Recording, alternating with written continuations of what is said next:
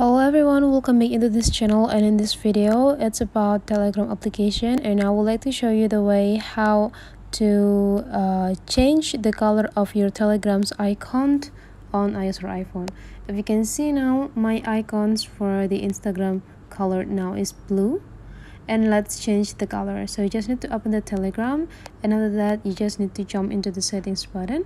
And in the setting you just need to go down until you find this appearance and then you just need to click it. And now you just need to like scrolling down until you found this app icon.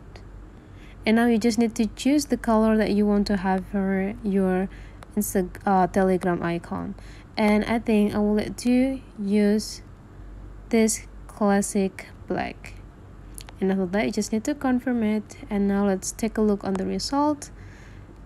You can see now that the icon of my telegram is changed from the blue into black as well as the plane symbols it's also different or change so that's the way how to change the color of our telegram uh, icon. Hopefully, hopefully this tutorial today is useful for you so don't forget to leave some comment like and subscribe into this channel and see you on the next video